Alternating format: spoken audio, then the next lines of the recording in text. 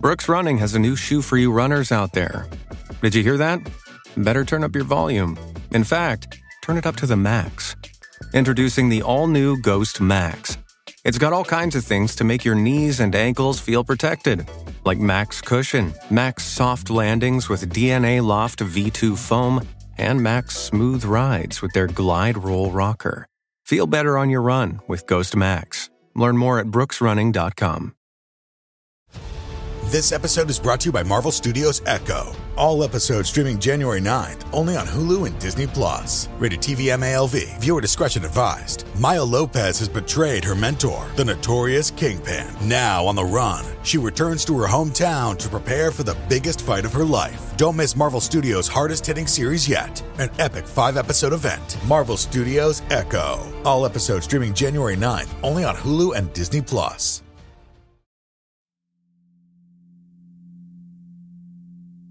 St. Louis, Missouri. The Lemp Mansion continues to host the tragic Lemp family, one of America's most haunted places.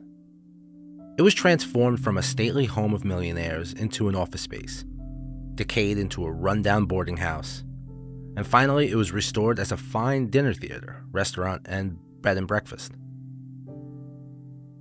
Johann Adam Lemp sailed from Germany to St. Louis in 1838. He opened a small grocery store at Delmar and 6th Streets and sold the, the usual products and homemade beer. A lighter golden lager that contrasted with the darker ales present at the time. His recipe was much sought after, and after two years down the line, he decided to leave the grocery store business and construct a brewery near the current Gateway Arch. Lemp pioneered the distribution of lager in St. Louis when he began selling beer at a pub attached to the brewery. Soon after, it became clear that the brewery needed more space for production and storage. This led Lemp to uncover a limestone cave nearby. The cave was kept cool by fetching ice from the Mississippi River, and it provided an ideal environment for storing his beer during the lagering process.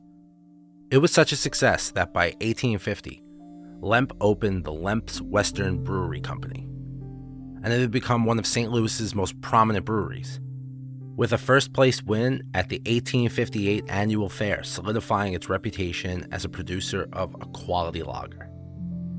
On August 25, 1862, Adam Lemp died as a millionaire, and his son, William, expanded the brewery in a significant manner. In 1864, a new brewery was built. William bought all of the area around the lagering caves, and eventually, as the brewery continued to expand, it covered five city blocks. In the 1870s, the Lemp family symbolized wealth and power, as the Lemp Brewery controlled the St. Louis beer market until Prohibition. A house was built near the Lemp Brewery in 1868 by William Lemp's father in law. William purchased the house in 1876, and it became his home and his auxiliary office. Even though the house had a lot of room, Lemp immediately began renovating and expanding it into an impressive Victorian mansion. From the mansion's basement, a tunnel was built through the cave through the brewery. Cave parts were converted into natural auditoriums and theaters. Later, this underground oasis would become home of a very large concrete swimming pool, a bowling alley, and hot water from the brewery boiling house. Originally, Cherokee Street had a spiral staircase that led to the theater. The Lemp Brewery gained national recognition after introducing the popular Falstaff beer in the middle of the 1890s. During the same period when William Sr. built his own business empire, he also helped Pabst, Anheuser, and Busch start up their companies. The Lemp Western Brewery was the first to distribute its beer coast to coast. William Lemp Jr. became president of the William J. Lemp Brewing Company in November of 1904. As heirs to the family business and vast fortune, he and his wife Lillian began spending the inheritance. They hired servants, bought carriages, clothing, and art, all for the house. Lillian was a beautiful woman with wealthy origins, and she married William Lemp Jr. in 1899. Their son, William J. Lemp III, was born on September 26th. Beyond her habit of wearing lavender attire, Lillian acquired an additional nickname, the Lavender Lady. She even went so far as to dye the harness of her carriage horses in matching hues. Will was initially proud to have married such an impressive wife, but his entitled mindset was clear. He had been born into privilege and usually conducted himself as he saw fit. A tired William demanded that his beautiful wife spend her time shopping, giving her $1,000 a day. He told her that she would have no more if she didn't spend it. Wait a minute, so you're to give me a $1,000 a day, and if I can't spend it, I'm not to get any more? Oh, oh, William. I'll spend it. During the day, Will ran the brewery while he pursued decadent activities at night. For his entertainment and for his friends, he would bring in several prostitutes to hold lavish parties in the caves below the mansion. In addition to swimming pools, bowling alleys, and free beer, his friends who attended these great events were known to have a really great time, surprising nobody. William's actions, though, had unforeseen consequences when he fathered a son with someone other than his wife. Unforeseen consequences? The guy was partying with prostitutes. I mean, yeah, that seems like something that would probably happen when you sleep around. Although there's no official documentation, tales of the boy living in the mansion attic have been passed down over the years and corroborated by Joe Gibbons, a St. Louis historian. His sources, an old nanny and chauffeur employed at the mansion, confirmed that the child was there. The boy had Down syndrome, and in light of his parents sought to hide away their shame from society. Now referred to as the monkey face boy, he is said to still haunt Lemp Mansion today. William Jr. was done with his union to the trophy wife and thus filed for divorce in 1809. It is likely that she stayed with him despite his suspicious activities being a reflection of the era being a reflection of the era. He was giving her thousands of dollars a day to just go and just like, you, oh, you better spend this money. I mean, I don't want to sound like a greedy person or anything, but I mean, there's, there's certain things I look over. I mean, true love's great, but you know, watches are pretty nice too. I kid, I kid, I kid. A little bit. A huge scandal in St. Louis followed as all local newspaper outlets broadcasted the details of this on the front page. The trial commenced in February of 1909, which led to many spectators attending the courthouse daily to watch the drama unfold surrounding claims of violence, alcoholism, non belief, and brutality. While Lillian ignored William's decadent activities, a photograph that was presented at the trial showed her smoking a cigarette, and that almost cost her custody of William Lemp III. In the end, she retained custody of their son but soon retired from the public eye. The only time she was ever seen in anything other than lavender was on the day of her divorce proceedings, when she appeared entirely in black before the judge. Will's troubles didn't end with the divorce. Nine of the largest breweries in St. Louis had come together to form the Independent Brewing Company of 1906, creating fierce competition the Lemp Brewery had never encountered before. On April 16th of the same year, Will's mother died of cancer. Despite the brewery's continued decline, the Lemp Mansion was completely remodeled in 1911 and partially turned into offices. During this time, William allowed the brewery's equipment to deteriorate, without keeping up with the industry developments. By World War I, the brewery was barely getting by. After building a country home on the Meramec River, William increasingly retreated there, and in 1915, he married Ellie Limberg, the widowed daughter of the late St. Louis brewer Casper Koehler. Prohibition came along in 1919, and since the family members were already wealthy, they had little incentive to keep the brewery going. As Will hoped Congress would repeal Prohibition, he eventually gave up and shut down the Lemp plant without notice. The workers showed up to work one day and found the doors closed and the gates locked, and that's when they discovered the closing. As her father had done years before, Elsa Lemp Wright William's sister, committed suicide on March 20th, 1920. She is said to have been despondent over her rocky marriage. The famous Lemp Falstaff logo was sold to brewer Joseph Griesedieck for $25,000. I hope I did not, definitely, definitely did not pronounce that right. There were so many consonants in that name. Well, he sold it for $25,000 in 1922 after William Jr. liquidated the plant's assets and auctioned off the building. It was estimated that the brewery's buildings were worth $7 million before Prohibition, but they were sold for just 588,000 to the International Shoe Company. With William Jr. gone, the Lemp Empire seemed to have finally come to an end, since both Charles and Edwin had left the business long ago. After leaving the brewery in 1911, Edwin had chosen to live in seclusion in his state in Kirkwood, Missouri. In place of working in the brewery, Charles had chosen to work in banking and real estate. William Lemp III died of a heart attack at the age of 42 in 1943. Eventually, Brother Charles returned the mansion to its former state as a residence and took up inhabitants alongside two servants and the brother of Wilhelm's illegitimate son. Growing increasingly peculiar with age, he developed a tremendous fear of germs that manifested in his compulsive behavior. Gloves were always on, and he was incessantly hand washing. Tragically, during this time, the illegitimate boy, who was now in his 30s, passed away at the mansion and was buried in the Lemp Cemetery plot with nothing more than a minimalized flat marker that just said Lemp inscribed on it. As soon as the one known as the Monkey Face Boy died, Charles became the fourth Lemp family member to commit suicide, but not before shooting his beloved Doberman Pinscher in the basement of the house. On May 10, 1949, one of his staff members discovered Charles still holding a 38 caliber Army Colt revolver in his hand as he climbed the staircase to the second floor. Although the dog was shot in the basement, he was discovered halfway up the stairs. Aw, poor little guy. Edwin Lemp was the sole survivor of the Lemps, spending most of his life in seclusion at the Kirkwood estate. He passed away in 1970 at the age of 90, and according to his wishes, had his butler burn the Lemp family paintings, documents, and artifacts in a bonfire, taking these unique pieces of history and destroying them forever.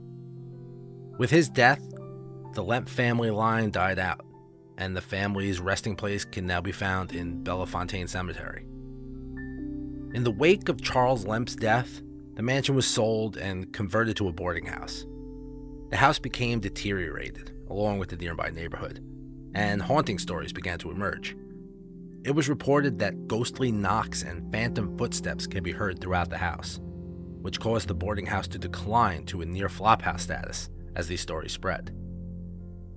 The old mansion, however, was saved when Dick Pointer and his family purchased it in 1975 and immediately began renovating the building, turning it into a restaurant and inn. Many workers in the house reported ghosts, strange sounds, disappearing tools, and a feeling of someone watching them. In fear of the hauntings, many left the job site to never return. In the years since the restaurant opened, staff have reported a number of strange experiences. Apparitions appear and then disappear. Voices and sounds come from nowhere, and glasses are often lifted off the bar and fly through the air by themselves. The piano bar often plays when no one is present. Doors lock and unlock on their own, and lights inexplicably turn on and off by themselves. The old mansion is said to be haunted by several members of the Lemp family, and has the three most active areas are the stairway, the attic, and the basement, which is referred to as the gates of hell. They say that the Lemp Mansion attic is haunted by William Jr.'s illegitimate son, the one known as the Monkey Face Boy. People have often seen his face peering from the windows of the mansion. Ghost hunters have tried leaving toys in his chamber and then forming a circle around them, only to find the objects move when they return later. No one knows what's going on up there. Yet one thing is sure mysterious occurrences are taking place. There have been reports that men peek over the stalls in the downstairs women's bathroom, which was once William Jr.'s personal domain and housed the first freestanding shower in St. Louis. One of the first stories of this occurring is when a woman returned from the bathroom to the bar and saying to the two men that she was with, I hope you got an eyeful. However, the two men denied leaving, which the bartender verified. It is said that the ghost represents the womanizing William Jr. It has been reported that guests in William Lemp Sr.'s room often hear someone running up the stairs and kicking at the door. A report indicates that William Jr. ran up the stairs to his father's room when he killed himself, and after finding it locked, kicked the door in to get to his father. Several years ago, a part time tour guide heard noises outside the room where William Lemp Sr. had kept his office. However, nothing was there when the tour guide looked through the window. The area north of the mansion, now used as a parking lot, was once used for horse tethering. In addition to being featured in many magazines and newspapers, the mansion attracts ghost hunters from around the country. Today, the mansion features a bed and breakfast with restored rooms, a fine dining restaurant, and a mystery dinner theater. Tours of the estate can also be arranged, if, you know, you guys are interested. Hey, folks. I uh, wanted to do just a middle of the episode check in here. I know uh, uh, I didn't have an episode out last week. I just wanted to kind of give you an update what's going on. Um, the members of my Patreon know, you know, I've been in communication with them, but I haven't really sent out anything on my socials or anything like that. Uh, it's been a wild two weeks for me. Um, let's start with the good. It was, you know, my daughter's first birthday, you know, the holiday weekend, which was pretty great. Um, so I kind of got a little bit pushed back for that, celebrating, you know, my daughter and, you know, spending time with family. I also had, unfortunately, a death in the family and was in a minor car accident. So things like that all happened within probably 10 days of each other. So it kind of put everything else on hold. So I fell a little behind with my podcasting. You know, it's, it's funny because, you know, I, am guilty of this too. Like if I listen to a podcast, I, I just assume it's like, because now podcasting, you know, in my opinion, has become like the third medium. It's like movies, TV, podcasting. That's the forms of entertainment that people search out. So, you know, movies and TV, those are like professional, like studio kind of things podcasting, you know, I'm guilty of it too. I'll be the first to admit it. Like when I listen to a podcast, it's like, oh, that's even though I do podcasting, this is how stupid I am. It's uh like, hey, this is done in a big studio, and there's a lot of people involved, and there's a, you know, I'm just a guy in his spare bedroom that's sitting in a, a cube of plastic shelves covered in foam pieces. So this is there's nothing professional about this. So when life happens, things kind of slow you down. So I just wanted to apologize for, you know, missing a week and, you know, going forward, I don't know if I'm going to be able to keep, at least for now, keep the twice a week schedule. So I might have to go back to weekly for a little while until I can get myself caught up with, you know, a little, a lot of the stuff that I got to just got to get finished. But anyway, I wanted to thank everybody, you know, the members of my Patreon. Thank you so much when, after I explained that you guys all reached out to me and said, you know, condolences and you know well wishes and i appreciate every single one of you. So thank you so so much. You guys know the normal spiel that i do. If you like the show share it leave a review. All the other nonsense that i spew constantly um, about the show. But again thank you all so much. There is uh, one particular shout out that i want to give though today. Josh He's a patron of mine. He's a patron. I keep saying he's a Patreon. I know that's not how it's said, but that's just the website, and then that's what it's in my head. Anyway, Josh, you're a patron of mine. Thank you so much for joining, and I want to give a special, super special shout out to your daughter Willow. I love it so much that you say that you listen with your four year old, and you're patiently waiting for me to have a new episode out. So, Willow, thank you so much for listening, sweetie. Thank you so much for listening with your dad. That's just the greatest thing ever. And when my daughter is old enough, I hope that I'm able to share something with her the way you guys share something. And just having me involved in that, even if it's so out of the way, if it's just listening to my voice, you guys are sharing something together. And that's just so great. So, Willow, thank you so much for listening. Enjoy the show. I enjoy you, enjoy your dad, enjoy the time you guys spent together. Again, Willow, hello, and thank you. All right, let's get on with Missouri. Brooks Running has a new shoe for you runners out there. Did you hear that? Better turn up your volume. In fact, turn it up to the max. Introducing the all new Ghost Max. It's got all kinds of things to make your knees and ankles feel protected like Max Cushion, Max Soft Landings with DNA Loft V2 foam, and Max Smooth Rides with their Glide Roll Rocker. Feel better on your run with Ghost Max. Learn more at brooksrunning.com. There is a macabre collection of unsettling displays that document the treatment of the mentally ill over the centuries, and it is known as one of the 50 most unusual museums in America. You'll come away from this interesting museum highly enlightened and very glad that you were never a resident. The museum consists of a 19th century dousing tank and an exhibit of more than a thousand metal objects taken from a patient's stomach. In 1872, Missouri state legislator allocated $200,000 to be put toward the construction of a quote unquote lunatic asylum.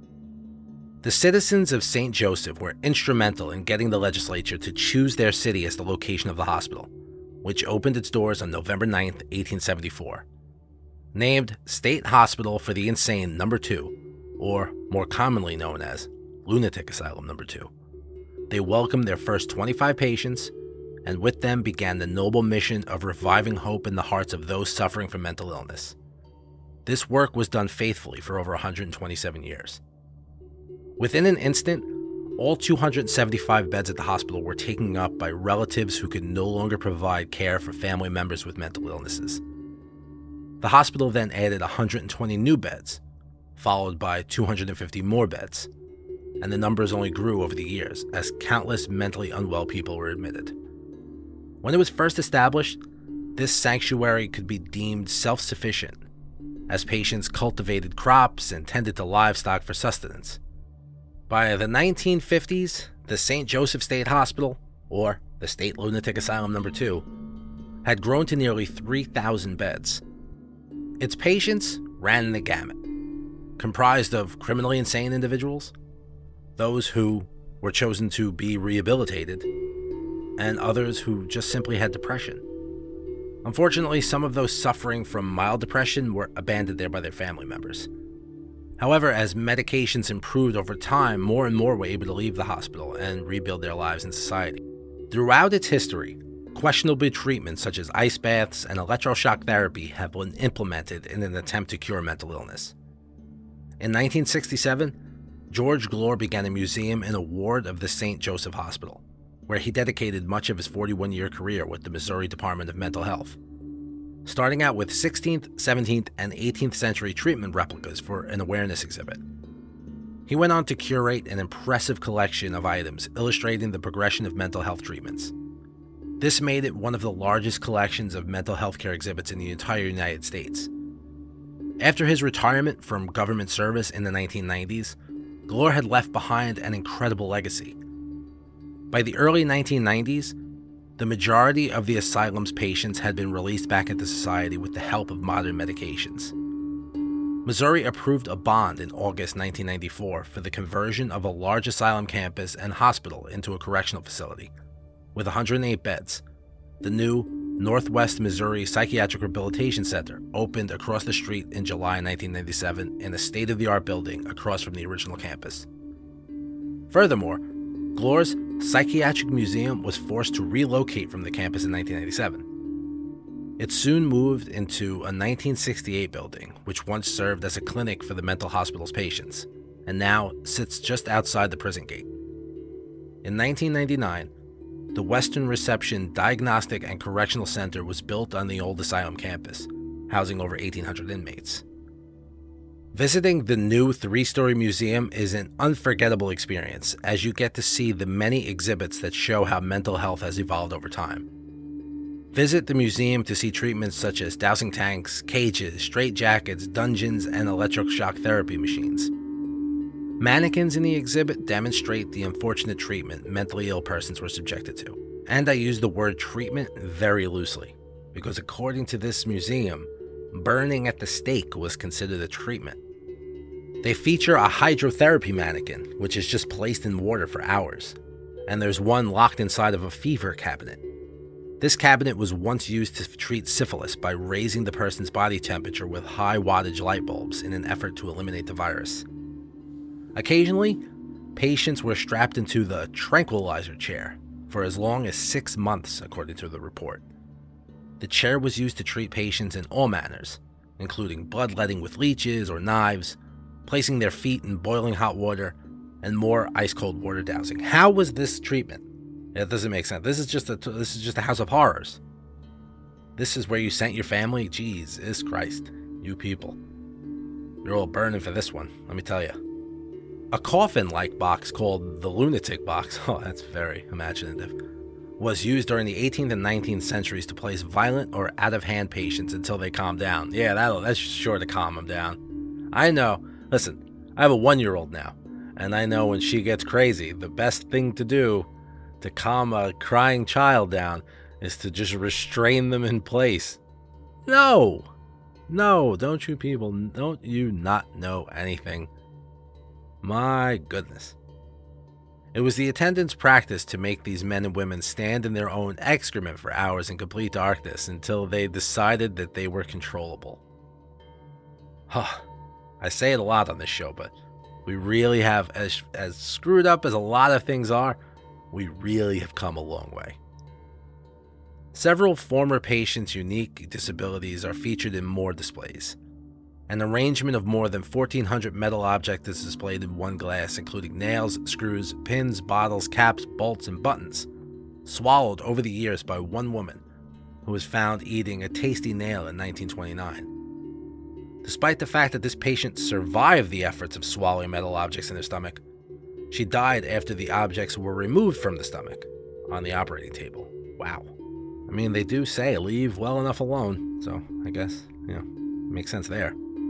Glore Psychiatric Museum's second floor contains many exhibits of former patients' artworks and crafts, including fine paintings, embroidery, and ceramic items that look like kindergarten displays. A patient's letters and notes are displayed on a television set in another display. The hospital's electrician was called in 1971 when a male patient was seen inserting a folded piece of paper into a functioning television. More than 525 folded notes and letters including the writings of the delusional patient, were found in the back once the set was removed. In another exhibit, an ex patient collected over 100,000 cigarette packages to redeem them for a wheelchair for his ward. Upon discovering his ambition, the hospital purchased a wheelchair and dedicated it to him in 1969. Aw. I know what you're asking. Is the Glore Psychiatric Museum haunted, Chris? Because you're just talking about weird things. Well, many of the unfortunate patients who endured these horrendous cures suffered from insanity as a result of them. They would often die within the asylum, where their tortured souls wandered the hospital corridors, still suffering the mental illness they suffered in life. In addition to the tragically misguided treatments and deaths of its mental patients, the hospital also served as a facility for tuberculosis patients, and many of whom died there. A longtime employee of the Missouri Department of Mental Health, George Glore began collecting macabre items from the previous centuries that depicted the evolution of mental health. The hospital began to gain a reputation for being haunted around this time. The staff began to report sightings of shadowy figures and apparitions just out of the corner of their eyes in the hallways and doorways shortly after George had begun putting together the artifacts. From apparent empty rooms, they felt like they were being constantly watched. One of the patients was known for communicating with the spirits of the building, creating many drawings, poems, and songs that detailed her paranormal experiences. A disembodied voice is frequently reported, with screaming, singing, and whispering being heard. A sound of a male voice shouting, Get out! has been captured in several EVPs. Female voices have also been heard calling out staff and visitors' names. The old asylum cemetery lies around the block from the museum. That was once the northeast corner of the hospital campus. A monument and a large field are nearby, with the modern prison in view through the trees. The first person was laid to rest here on December 12, 1874, and the last one in October of 1949. This sad place is as disconcerting as the museum itself, because most of its markers bear nothing more than an anonymous number. Though 2,000 souls have passed through this old asylum, only hundreds of graves are marked. No name or date indicates who these faceless victims are.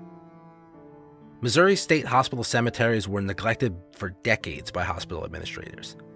Headstones were pushed over and buried in the 1960s because mowing around them was too costly. Family members were usually instructed to bring the clothes they wanted the patient to die in when they brought their relative to the hospital for admission. Many of the patients at the hospital never had a single visitor, as family members were too embarrassed or ashamed to come see them. Since their families could not locate them, many died lonely and unclaimed. The cemetery has mostly been restored today, but some of its markers are crumbling. All but a few gravestones are unmarked, and even the nicest monument, erected with the name Ellen Ross on it, 1816 to 1865, has been vandalized. Ellen Ross's name and date are barely legible, and something is missing from the top of the headstone. Who is Ellen Ross? These poor souls appear to have been forgotten after death. just like they were in life.